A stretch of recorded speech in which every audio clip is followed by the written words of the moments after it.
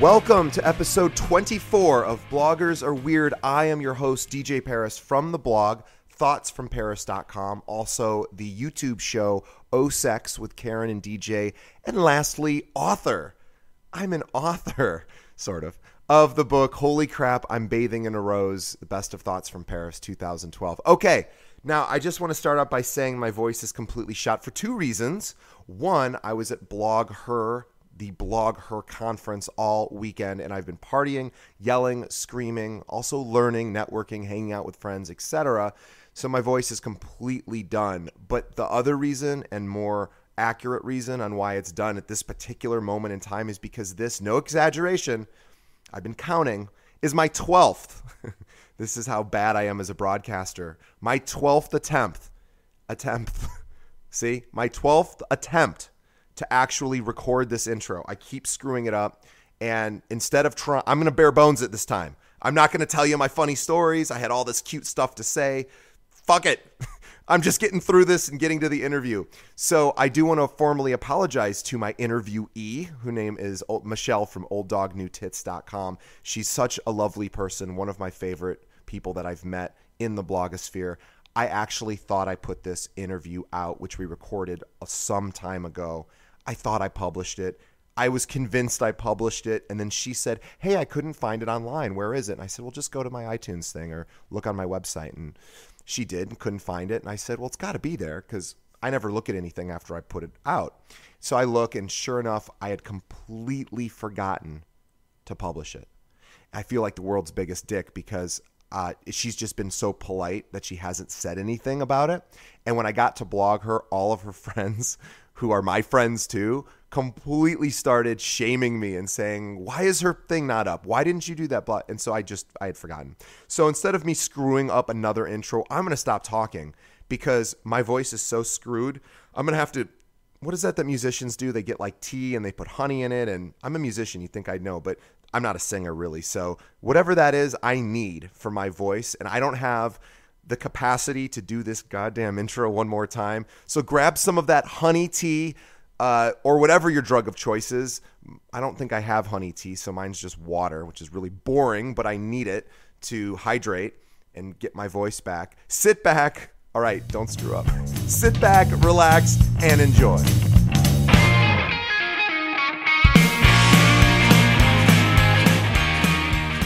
Today's podcast is sponsored by romance-text.com.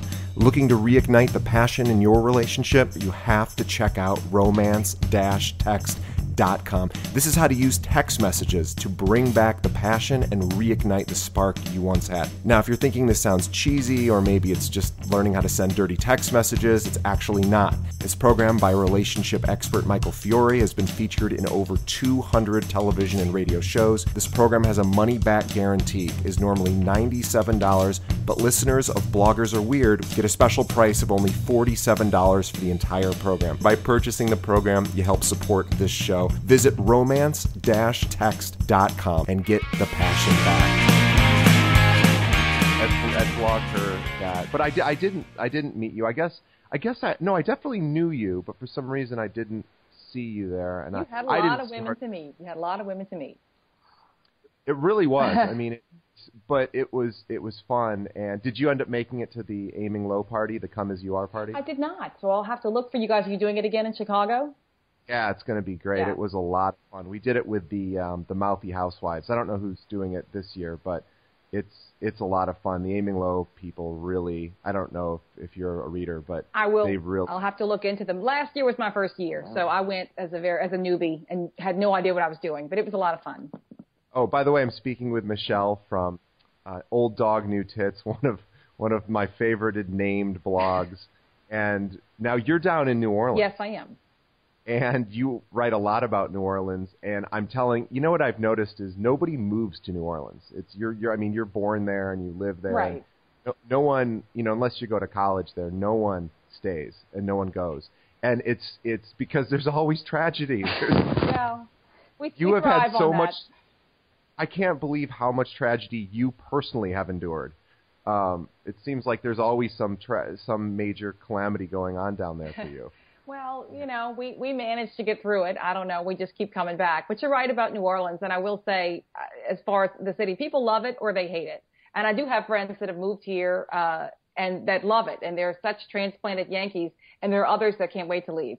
There's no in between for your feelings about the city. You love it or you hate it. And I'm I'm in uh, neck deep, so that's what it is, you know.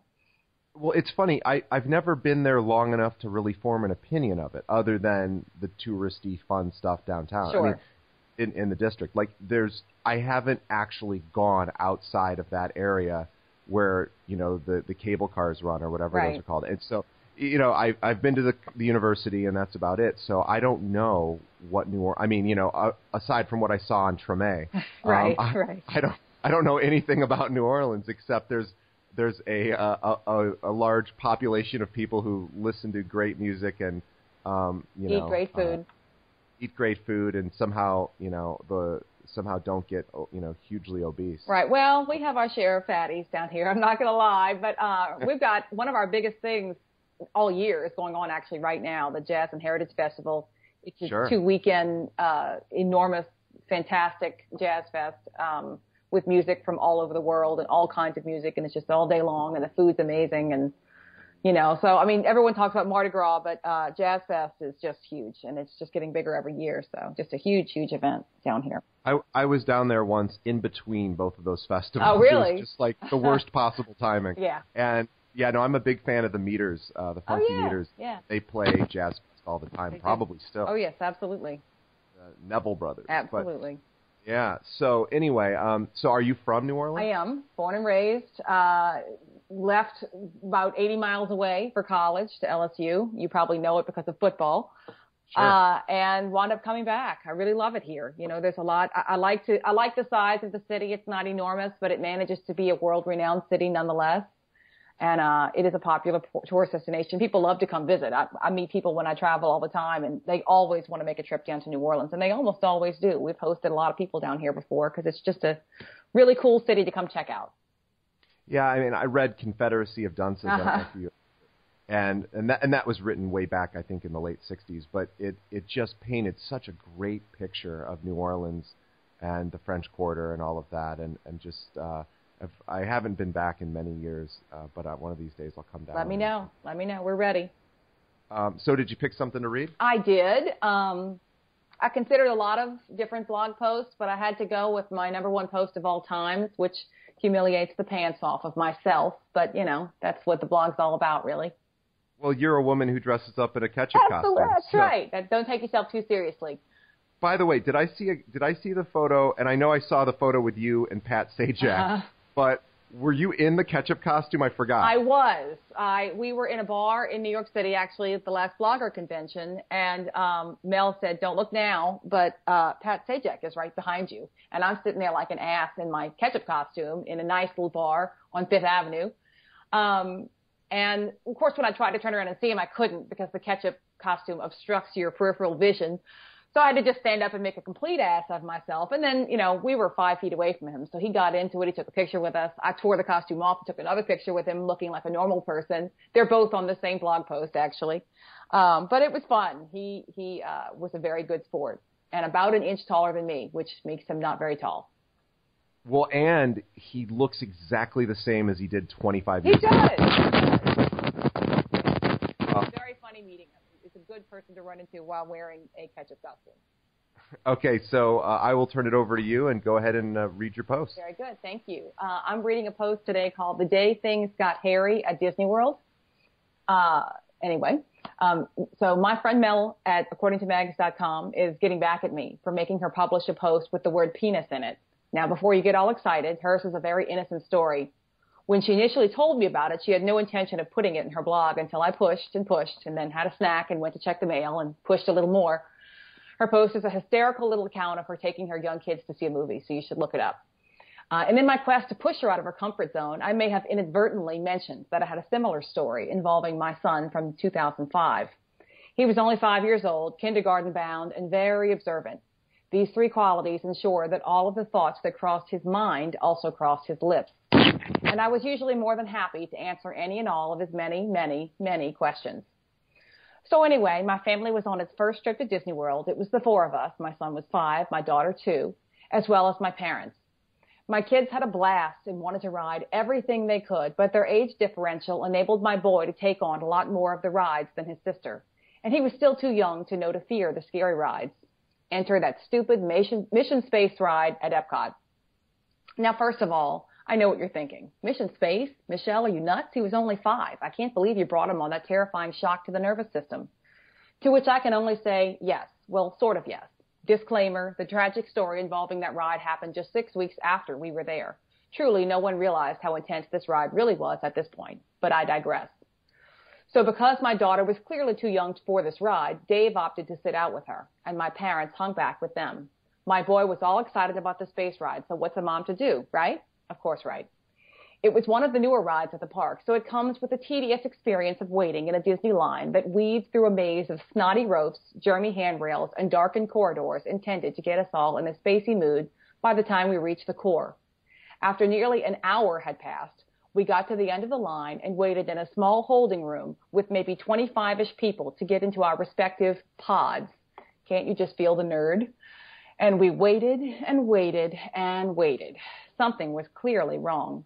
There was a loud beep and everyone got quiet in anticipation of a voice coming over the PA to tell us what to do. We're all familiar with the expression, you could have heard a pin drop, right?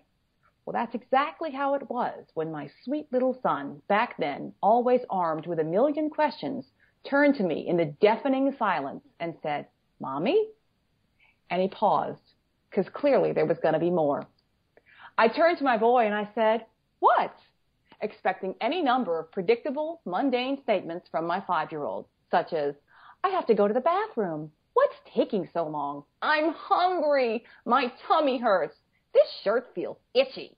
That guy sure has a fat belly. Any of those, and many, many other questions, by the way, would have been just fine. But that wasn't the direction he was going.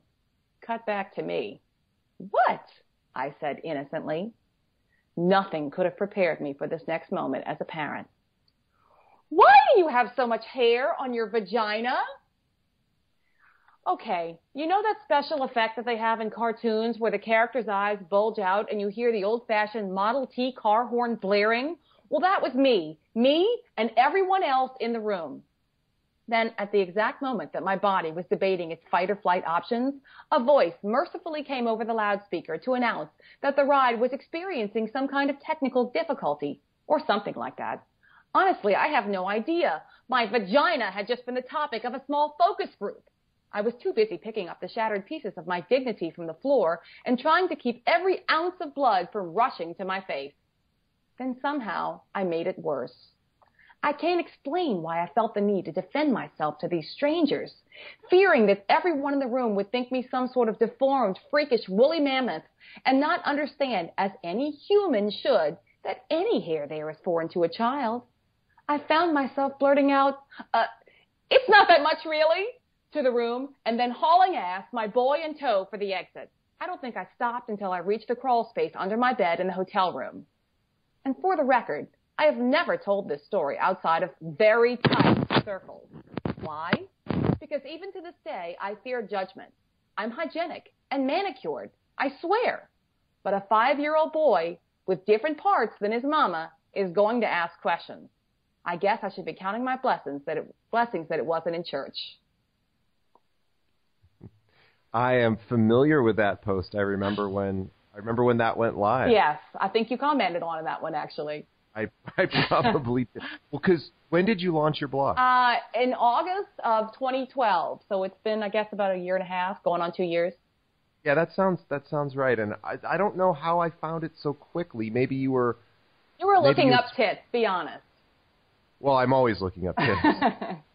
but, um, I get a lot of I get a lot of traffic that way. I'm not gonna lie, and I think oh people are oh, probably you, kind of disappointed. They're like, oh, this isn't at all what I expect. Do you, do you know what I?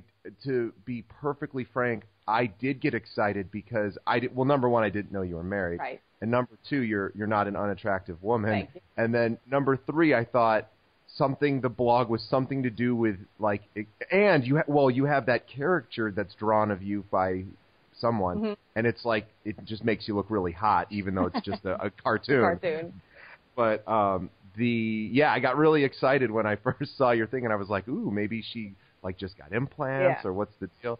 But yeah, t- can you talk about the origin of the of sure, the title? Sure. Well, uh, you know, it is sort of it is rooted in boobs actually. Um, I uh, am a mom of two kids, and you know, as most moms of two kids have, uh, you know, dissatisfaction with my post baby body, and I was looking into the idea of getting uh, a new set, a new pair of boobs actually, or something of that nature, and I had been considering a writing project of some sort. And I thought, you know what? What better way than to make an ass out of myself and just write about the whole thing in public form? And literally, thus was born the blog, Old Dog Tits, and that's where the name comes from. Um, and so the first several months of the blog were me opening up about, you know, uh, not being happy with my body and why, and I know other people can identify with this, and literally going on five consultations with five different doctors and writing about it completely honestly. Sometimes it was funny, sometimes it was, you know, uh, honest and embarrassing. Um, along the way, uh, a breast lump was found. I had to get a mammogram and an ultrasound, and that turned out to be no big deal, thankfully. Um, and then as we got a little farther in, I had to get a chest X-ray because I was getting, uh, I, I guess, surg- surgically prepped. Um, they just want to do like a, an all-over physical, and found a tumor on my lung, which was insane. Um, I'm extremely healthy. Have never been in the hospital other than to have my kids. Never broken a bone. Never had anything go wrong ever. And I don't smoke. Um, but I had this crazy lung, lung tumor that had to come out. So I wound up going, kind of changing the direction of the blog and live writing about CAT scans and MRIs and eventually the surgery. And I could, my parents and my husband, my kids, everybody, my friends were amazingly supportive with all this. And they knew that I was nuts and that even though I didn't want to immediately write about a tumor the day I found out that I had it, um, I felt compelled to do it. I said, no, you know, I made this commitment that I was going to be honest about everything and write about it sort of live time. And so I did. And I got incredible support from people I've never met in my life. Um, so it was, it was a really interesting experience, um, to go through. And needless to say, it kind of sidetracked me from my original plans, but I will say openly that who knows, uh, anything is still possible. I have a lot of great research out there. I have a friend that actually just used all my research to get her own new set, so I'm a little jealous. But, um, you know, I'm not looking to be Pam Anderson. I just want to put my body back like it was before I had kids, and uh, we'll get there. But uh, we're just having some fun with the blog right now, writing about so much different kind of foolishness. You can't even, you know, it just uh, goes all over the place. So, but it's been fun.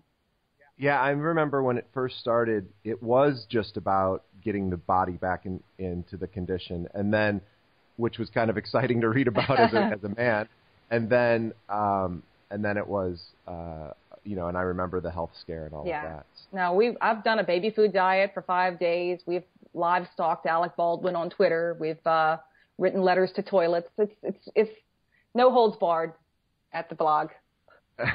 talk talk about you know one of the things that you've become known for is doing the the link ups and the blog hops and Mhm. many of the people who are listening to this have their own blogs and probably aren't as familiar um, not only with with yours but with those in general um, you seem to have a lot of fun with that could you talk about that Sure. Well, there's a lot of great blog hops out there, and I try to find them all. I sort of just find them all by accident usually, and um, I try to get on as many of them as I can and encourage people to do the same with ours. There's a lot of, you know, blog hop, if you don't know, is where you take a post or maybe just your blog in general, but it's usually a post and you link it up with a bunch of others on someone's blog. And it's a great way to, to boost your readership. Um, and a lot of them allow you to link previous things you've already written, which is great and easy. And you just find something that fits, you know, and throw it up that day. And then some ask you to write something based on different parameters. And Mel at to Megs and I, um, ha- that's what ours is. We actually ask you to write something, which yes, is a little bit more complicated, but geez, it's 57 words or less, and the 57 does come from Heinz 57 sauce. Um, but it's really short, and we try to make the um, uh, we do it twice a month on the first and 15th of the month to catch up with us, and um, basically we we say it's like payday on the first and 15th 15th of the month to help you remember. But I mean, we've had some absolutely wacky um, blog, I mean, p- prompts for these things, like name something you're not thankful for was what our was what our Thanksgiving prompt was, and mine was my period. And I wrote a whole 57 or word less, 57 words or less post about my period, and have a box of Midol in my mouth, wearing a ketchup costume in a public store. So you know, if I can put that in my mouth in the middle of the store wearing a ketchup costume, you can tell me about something you're not thankful for. 57 words or less, Mr. Paris. So come visit us. come. I know. Us. I've I've been bad. I, I, I do love your blog. And Oh. have you you should write for Aiming Low. Have you ever did you wait, did you post something for them? I, forgot. y- No, I didn't. And you had put something a while back, and I love your sense of humor. Actually, you make me laugh, and that's not always easy to do. And I think you put something you were looking for writers a while back, and I said, "Hey, what's Aiming Low?" And you said, "Use Google." Google's a great Yeah. resource, and I thought, yeah, that's true. I should have not bothered him, but um, but no, you know, I'd love to. And you're right, I do need to use Google and learn how to use Skype, which took us a while today. This this man's very patient. He worked with me today. Um, True. Yeah, sorry. I'm a saint. you are. Uh, to, to put to put it in a New Orleans term. sure. Uh, but no, so you know, you've been writing and you've started going to conferences Mhm. and you've probably um, really opened up this whole line of communication. I know you have a few thousand. Oh, by the way, olddognewtits.com is where you can find her. Also at Old Dog New Tits for Twitter, and she has a large Facebook fan following. Just you know, search it when you get on Yep. Facebook. You'll find it. Absolutely. Thank Uh, and where is you know where where are you headed with the blog? Are you thinking about a book? Uh, you know, I would love to do a book. I'm lazy, and that's one of my biggest problems. I should probably say busy instead of lazy, but it's a little of both. Um, I'm I'm always following other writers that I like, yourself included, and seeing where they go with these things. And I've watched a lot of people successfully put books out there. Um, as you can see from my Skype knowledge today, I'm I'm a little behind the eight ball in some of this information, but um, but I'm working on it, and I don't know exactly how it works, but I think it's fabulous. I've already written a few things already that I could even put out there. I there's no stone unturned. I have a young adult novel I'm working on. I have a children's book I've already written. Um, but these things all need to be published. uh, you know, that takes moxie on my part. So I'll get there. But uh, I would love to just do something with what I'm doing with the blog because that that's the most fun that I'm having is just these goofy, you know, antics that that I guess I think happen in everyone's life. But um, you know, I, I, I had a spoiled gallon of milk that I complained to the dairy company about. That in the end resulted in me visiting the dairy farm and having a, a baby cow named after me. So I have to think hmm. that these things don't happen every day, and you know, and they're interesting, and people follow that, and I think I got the dairy company some new clients. But anyway, you know, it's fun. So I'd like to see something like that happen in the future. Sure. Well, I remember when, and this is probably I would probably think about a year ago. You were doing a lot of those uh, online photo album. Mhm. You must have you must have done 25 of those I did in a a lot. row. I did one for the, the for this uh, Disney story actually, and I I did another one um, that I think you helped me out with that I won a thousand dollars for. So that was that was oh that wow! was fun. Yeah, I think it was about uh, the ABCs of going back to school, and of course it was uh, Yes. very unconventional ABCs. So um, you know, not for the children. I, I like I like the fact, and you sh- we should talk about how to build a following because you certainly have a lot of readers, and uh, you know you have the. I think what a lot of bloggers get stuck is kind of how do I get in front of more more people, more eyeballs, and you know for me it's you got to just try a million different things, Absolutely. and and the biggest thing is to get involved in the community and really you know read other people's blogs and comment and I, you know, I used to get a lot of readers from commenting on people like the Bloggess. I also Yes. advertised with her. I agree. But did did you advertise I with did. her? I forgot. I did. Yeah, I thought so. She's awesome. I, I agree. And I got I got lots of readers from commenting on her blog, and you, you can see where your readers are coming from usually, and uh, and from other blogs as well, not just her. But I did advertise with her for a year. Yeah, I did. I did for many months, and then uh, ultimately just just you know sort of got the following I was looking for. Well, you do didn't- that yourself now. You have advertisers, don't you? I do. I I'm do. gonna have yeah. to look And- into that. I'll give you a special price. oh, awesome! Thank Uh, you. no, no, it's it's it is weird. And then when you have advertisers, then you have this sort of strange relationship with people who like you because you now have to basically justify your cost to them, Sure. and and it's not something you do verbally. It's something they look at their traffic, and every month they go, "Was this worth X number of dollars?" And and and many times it's not, you know, for them, and it just ultimately, you know, doesn't give them you know they have different expectations of, of what's realistic. You know, when you when you advertise with the Bloggess, um, you get a ton of traffic, but you also pay a ton to do it. Do. And and it's certainly it was worth it for me.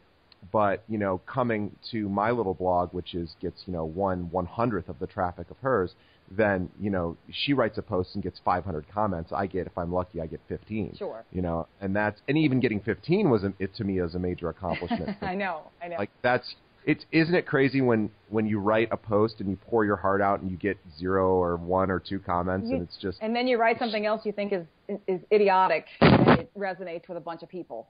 So it, it is funny. Some of the worst stuff I've written, and and really just when I look at it, I kind of cringe a little, like "Ooh, that yeah, wasn't very good. I'd like to delete Gets- that post. Yeah, you'd like to delete it, and it's maybe it's like for me, I write uh, I write a lot about like three or four topics, and Mhm. I, I wish I didn't, because but it's just like oh, I don't have anything else to write Sure. about today, and oftentimes that stuff gets the best uh, response. Yes.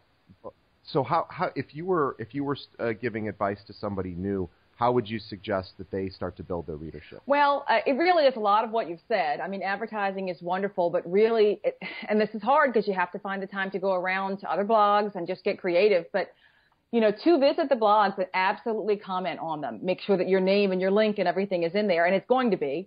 Um, you know, look at other people's blog rolls even, because if you find a blogger that you really like, chances are the people in their blog roll you're going to like as well. And so, you know, you might want to start visiting some of those. And there's some very um, supportive communities out there. I used to do a lot of writing, and I still do when I have time for a writing community called Trifecta. And um, they've got a very strong following of people. And when you're in that circle, all those people are supportive of you. So, um, you know, it's good to find tight knit groups like that.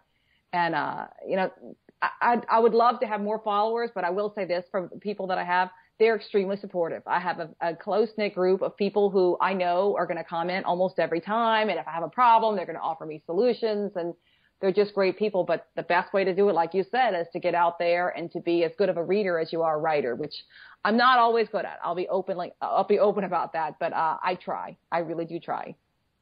Yeah, I'm the same way. I I have a, a group of people, the the I you know the the fans or whatever you want to call them, who really really write or really read, and then I always feel like, oh my god, I'm not reading their stuff as much as I should. But sometimes I just can't, No. and I'm sure I'm sure they have the same issue when they. I forgive certain- you because I'm just as bad.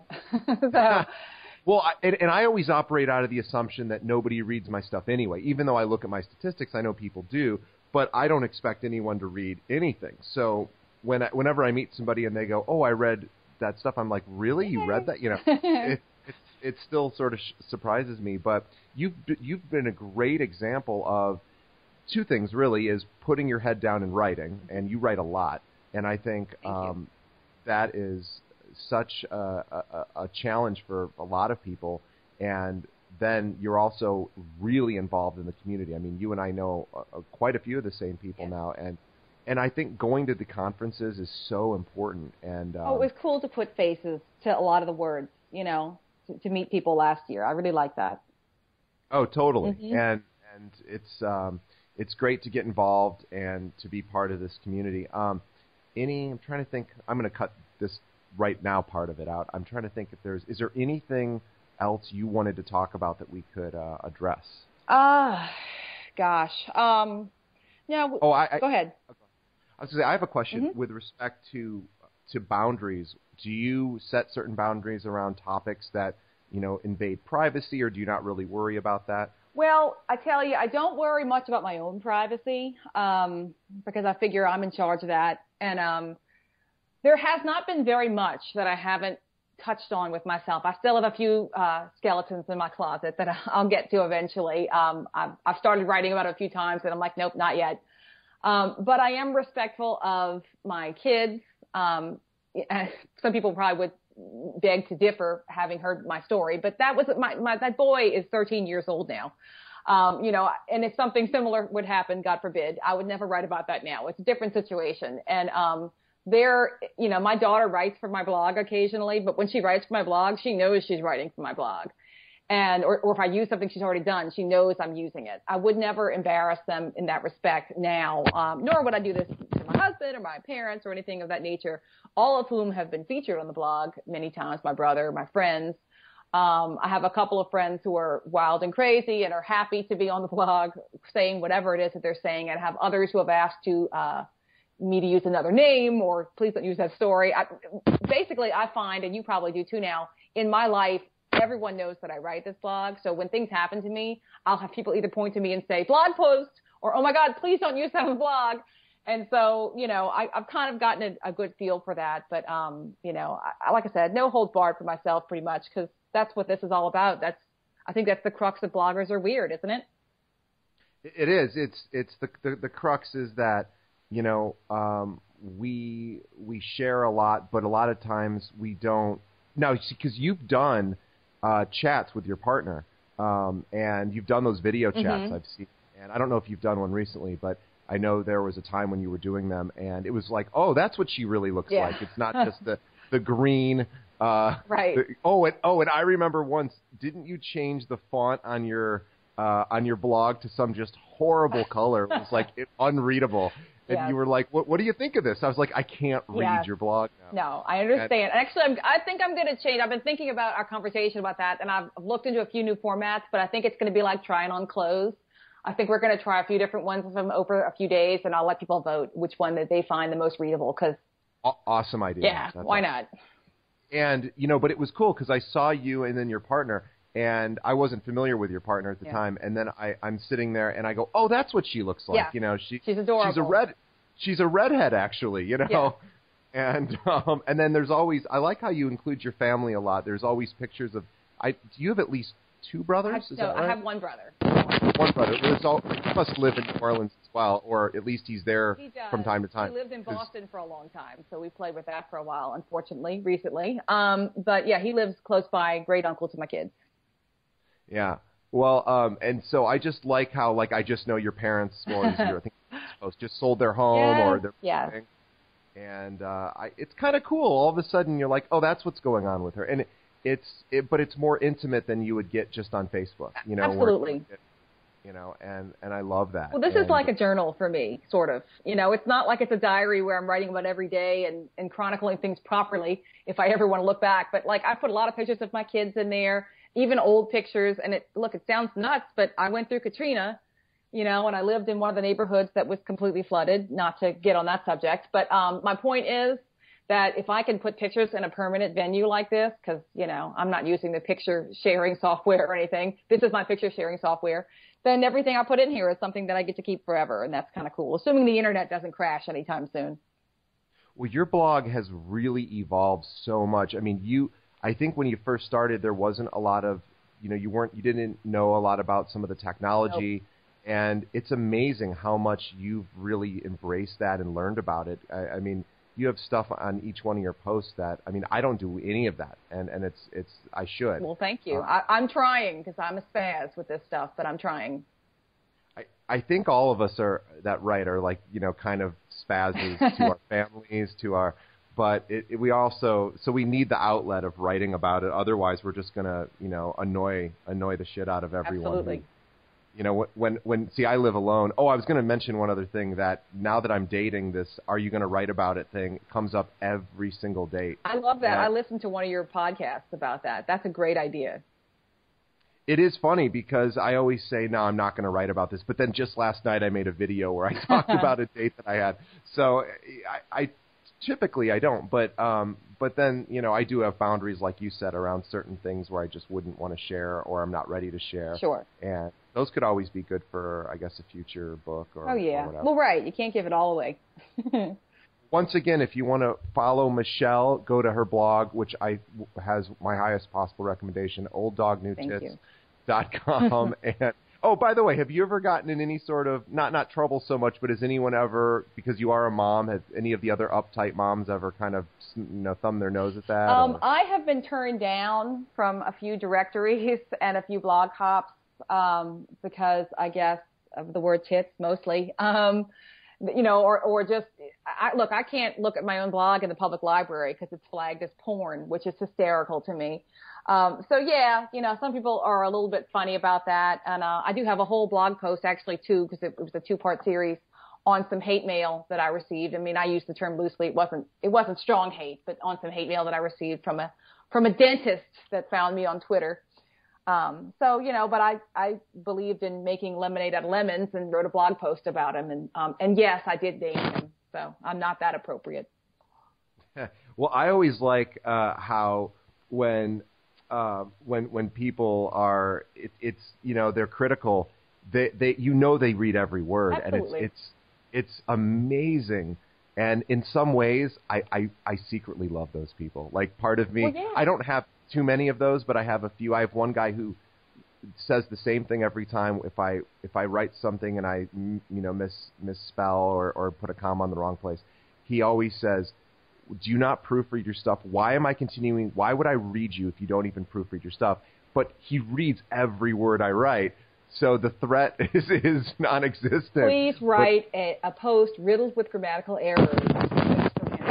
Please do Well, that. he's just the most like I want to I want to profile this guy. Yeah. I want to talk to this guy. He fascinates me, and I'm secretly jealous. He's your next podcast. Uh, he could be. Well, anyway, I, Michelle, I really appreciate your time, and I will see you this summer at BlogHer. Also, if you uh, are going to BlogHer, I would love to meet you. I'm sure Michelle would yes. love to meet you you know, find us on Twitter and uh, direct message us. And uh, she's again olddognewtits.com and also at olddognewtits. So Twitter her. We we love uh, comments on blogs, twittering us. Tell us what we should be reading, yeah. and if it's you or anyone else. And uh, I guess that's it. Thank you, DJ. So, yeah, we'll say goodbye, Michelle. Goodbye, Michelle.